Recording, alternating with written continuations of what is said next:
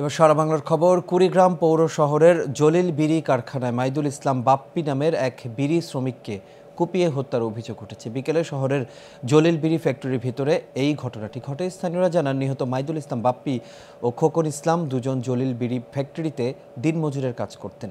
তুচ্ছ ঘটনাকে কেন্দ্র করে দুজনের মধ্যে কথা কাটাকাটি হয়। এক পর্যায়ে মাইদুলকে ছুরিকাঘাত করে খোকন। এতে ঘটনাস্থলে মৃত্যু হয় তার।